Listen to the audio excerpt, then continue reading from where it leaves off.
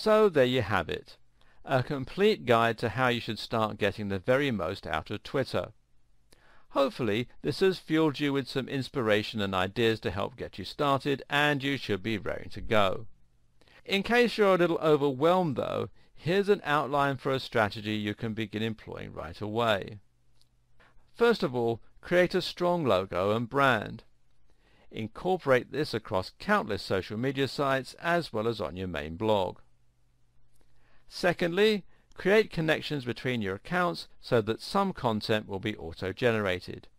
Add some content to buffer to ensure your Twitter never looks dead. Make it easy for yourself to post images and comments with the right apps. Stop posting adverts for your product or service. Start posting about the niche, the lifestyle or the industry that you deal with. Make sure your content inspires, helps and entertains. Provide value.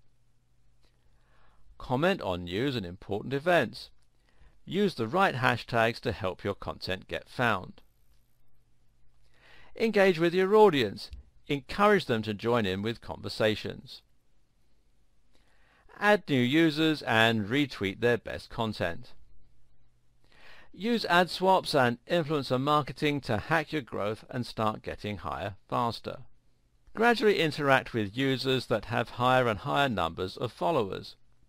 Utilize the power of your real-world connections and work with business partners to access their followers. Launch events and competitions to generate buzz and get people excited. Look for mentions of your brand and respond to them. Consider promoted tweets for a boost.